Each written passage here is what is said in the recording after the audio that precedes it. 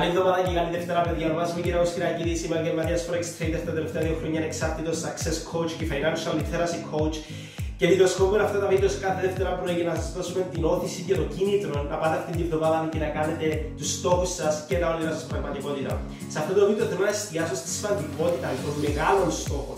Λόγω του ότι παιδιά, εάν, εάν σκεφτείτε τους στόχους σας και δεν ανατριχιάζεστε, δεν ανατριχιάζεστε, δεν, φο, δεν φοβάστε έστω και λίγο για αυτούς τους στόχους, τότε, τότε αυτό σημαίνει ότι οι στόχοι σας δεν είναι πολύ μεγάλοι. Και όπως έχουμε ήδη αναφέρει, η μόνη, ο μόνος τρόπος να είμαστε ευτυχισμένοι είναι να έχουμε ανάπτυξη και πρόοδο. Ο μόνος τρόπος να έχουμε ανάπτυξη και πρόοδο στη ζωή μας είναι να έχουμε μεγάλους στόχους. Άρα, αν θέλετε να είστε ευτυχισμένοι, πρέπει να βάζετε μεγάλους στόχους. Γι' αυτό, εάν δεν ανατριχιάζετε στη σκέψη των στόχων σας, απλά πρέπει να αυξήσετε και να αναπτύξετε τους στόχους του οποίου έχετε για τη ζωή σας.